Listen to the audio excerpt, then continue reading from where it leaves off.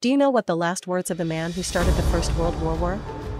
Gavrilo Princip was the man who changed the course of history and served as the trigger for the beginning of World War I. In Sarajevo, 1914, together with two other members of the organization Young Bosnia, Gavrilo Princip participated in the assassination of the Austro-Hungarian heir Archduke Franz Ferdinand, during which he also killed his pregnant wife, Duchess Sophie of Hohenberg. This event led to the start of World War I. Gavrilo Princip died of tuberculosis in the prison of Terezin Fortress in Austro-Hungarian monarchy.